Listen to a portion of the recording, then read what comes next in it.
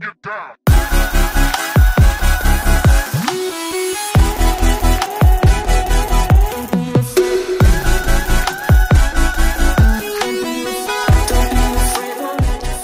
What's up guys, Nick here. Today we're going to talk about Premiere Pro because last week, uh, literally probably like a week ago, I started making a little series. I downloaded the free trial of Premiere Pro, I got it for seven days. You know, I downloaded it because I wanted to see how it is. I started a series, give my opinion about each day, and uh, I can tell you I'm not that happy about it. So basically, my free trial is over. Like, okay, it's over, and I am not impressed. I'm not going to be buying it. Like, day one, the first two days, I was like, this is, like, I was really happy with it it started going downhill quick. So, when I actually started getting into doing a regular video, like actually exporting it instead of having to save there for like seven days, that's where I started to run into a lot of the problems. So, uh, the export like whole thing, that's pretty simple. Like, you know, you just choose.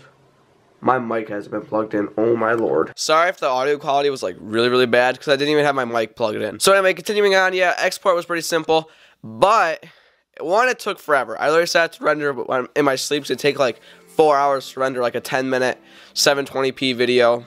I mean, whatever. I, I can live with that. As I said, I'll just set it before I go to bed, you know, whatever. But okay, get it all exported, wake up in the morning, check the footage, make sure it exported properly. Well, it didn't because it was laggy. Like, it was all nice and smooth, you know, normal, like freaking beautiful. And then all of a sudden, it was just like four frames a second. Then it went back. It was, I was so confused. So I, I that's what kind of like pushed me over. I'm just kind of like, you know what? No, screw this. I'm going back to my regular editing software, so I don't have to deal with this because it's very, it's, it's very annoying. But yeah, as far as timeline, looking of it goes, everything like that, it looks really decent. Like I'm happy with the look of the software. Uh, it works really well, like the little key bindings. Uh, I hate though, if I were to actually like purchase this software, maybe in the future. I definitely want to have a better computer, guys, because this one currently, in order for me to get the best results possible, I have to render out the timeline every single time I want to edit. So, not every single time, but if I want to apply any color correction to it, I have to render out the timeline. But once I render out the timeline, which takes about 45 minutes or so, then it's like, it's so smooth, like, it's really really good to like once I rendered out like the performance of it is absolutely amazing. Definitely happy with it there. And also I had a couple uh, issues with saving. So I do command S you know save. I'd manually save and I think it auto save every like 15 minutes. So one video that was actually gonna post like I I recorded it for a YouTube video which kind of why I'm posting recently because I, I told myself till the, till the free trial is over I'd use Premiere Pro get to feel it a little bit. And uh, yeah, now I'm back to using my regular editing software. So thank the thank the Lord for that. But so basically, I was saved. I rendered out the timeline. It took like I'm not even kidding. Probably took like six hours for that timeline render. I don't know what was happening.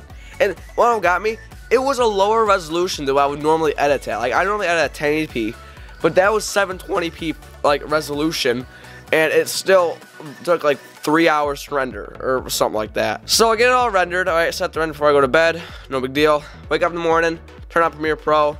Says render, so I'm okay. Command S, quit the program, shut down my computer, get ready for school. Get home to, to actually start editing it because I only rendered out the timeline at this point. And then I it didn't save the fact that it rendered out the stupid timeline. So wasn't that impressed with it. Definitely not going to spend either 250 up front or the $30 a month. Nope, I'm to stick with the one I have now.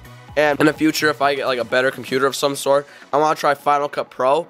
But anyway, guys, that's to end off this video here. Thank you all for watching. I'll see you guys in my next video. Sorry I haven't been uploading that much. I only did like a Fortnite video once this week. And but that's because, as I said, I told myself I'd use Premiere Pro to edit my videos and wouldn't do the job. So thank you all for watching. I will see you guys in the next video.